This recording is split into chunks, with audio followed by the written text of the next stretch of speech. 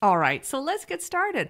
First things first, we need to start putting some information into our spreadsheet. So let's start thinking about what it is that we're doing. As I mentioned in uh, a previous screencast, we are going to be doing a, a budget for a five song CD recording. So let's go ahead and put that, um, put that at the top here just as a little title. So I'm going to say my band's name is the Robo Bunny All Stars. There we go and uh, we're going to be doing a five song CD recording budget. Okay, so I'm just going to just type that in. We're not going to worry about any formatting or anything like that. We'll talk about that later. I'm just going to hit return or enter, and then I'm just going to move down here to line three or to row three, and let's start just listing a few things. I'm going to start by writing expenses because we have to write down all the stuff we're going to spend money on. Okay, I'm just going to move down a little bit here and I'm going to put income. Okay, don't worry too, too much about exactly which line you're putting this on because I'm going to teach you how you can move those things around. Okay,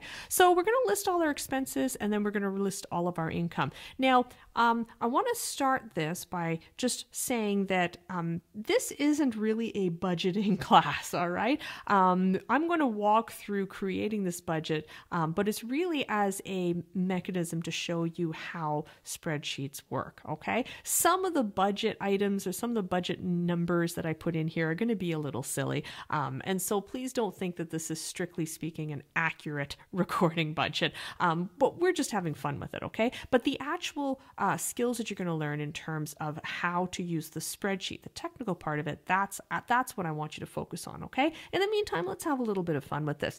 Um, what I like to do when I'm whenever I'm thinking about budgeting, I just like to do a brain dump of everything I'm going to have to spend money on. Okay. Um, I'm not going to worry too too much right now about exactly what those numbers are. I'm just going to do a brain dump of everything that I know I'm going to have to spend money on in order to do this CD recording budget. Okay. So the first thing I know I'm going to have to do is I'm probably going to have to rent a recording studio to track, okay, or to record uh, the bed tracks and the overdubs. That's basically the main, you know, musical instrument parts that I want to have on my five song CD. And so I'm going to go ahead and put tracking days. That's just kind of musician speak for recording, you know, days in a recording studio.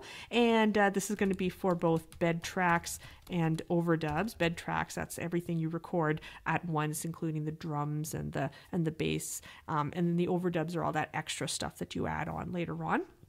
And I'm not going to worry about anything in terms of formatting or anything like that. Again, we're just focusing on doing that brain dump. Um, let's hire a session musician. That's something we should do. I know we're a good band, but you know, once in a while you have to hire a really hot session musician to make your CD really awesome. So let's, uh, ooh, there's only two S's there, uh, session musician. And uh, my session musician is going to be uh, playing, what instrument should they play? I know let's have them play the theremin. Do you know what a theremin is? I should actually I should actually provide a link to a theremin. Theremin is a really cool, weird instrument, and so let's uh, let's let's hire a theremin player for our our our recording. Okay, um, and the theremin player is only going to play on three songs. I'm going to make a little note here that they're only playing on three songs out of the five songs.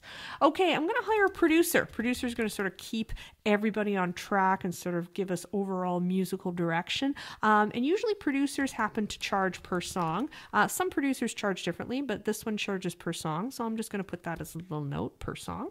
Uh, next, I'm going to have to hire a mixing engineer. Okay, mixing, that's basically the person who takes all those tracks, puts them together in the right quantities, and, and makes things sound really awesome.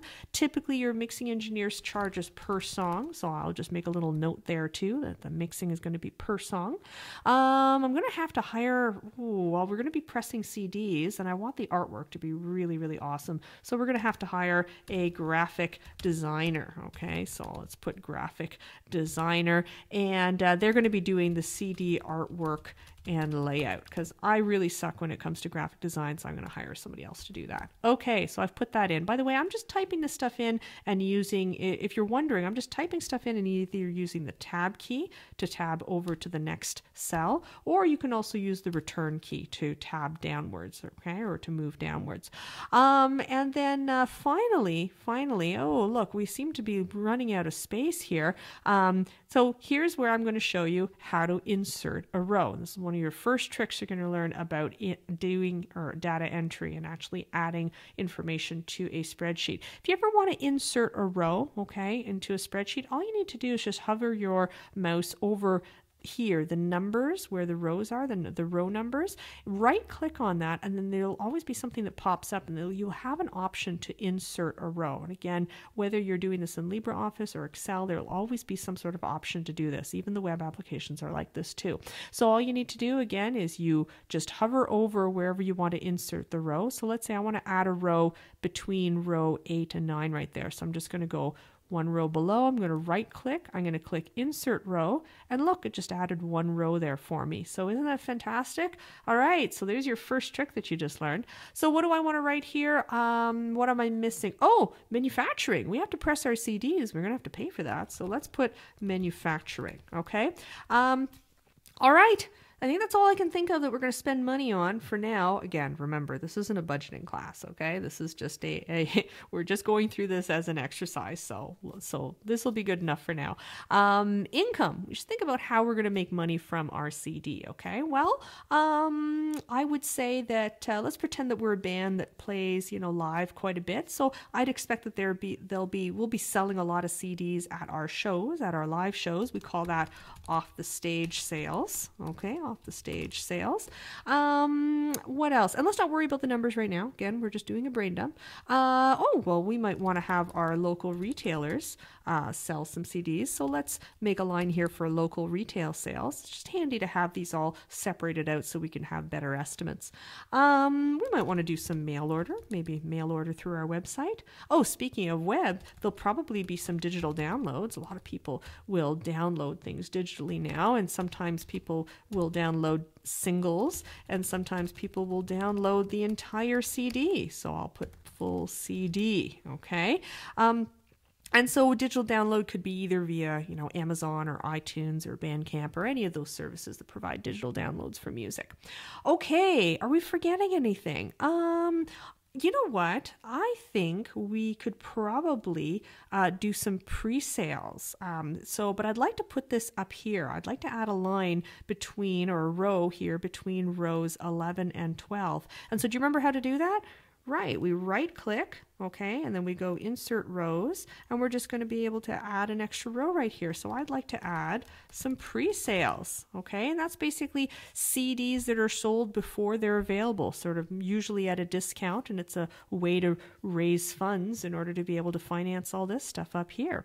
Um, what else should we do? How about a crowdfunding campaign? That seems to be really popular these days. A lot of independent uh, musicians uh, tend to do crowdfunding campaigns where they get their fans friends just sort of uh, donate some money to help them make some some make music or make make a CD, and and usually there'll be perks that go along with that. So so um, let's add a crowdfunding campaign to here. So again, I'm going to right click and I'm going to insert row because I'd like to put this right up at the top right here. I'm going to write crowdfunding campaign. I don't know how much money I'm going to raise through my crowdfunding campaign, but we'll figure that out later.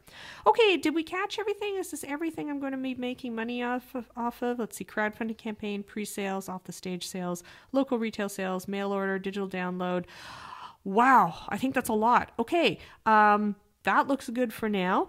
But now we should probably talk about doing a little bit of formatting, okay? And so now I want to show you some tricks, okay, for doing this. One of the things you probably notice is that a lot of these are overlapping over the edges of these cells, and that's that might be bugging you. It's kind of bugging me a little bit. I would like to, we can actually resize these cells, okay, to fit the the extent of this but um and so the way that you would do that is you would just hover over the division between the two row the two columns and you would just drag that over well that's one way of doing it. But can I show you an even cooler way of doing it? All right.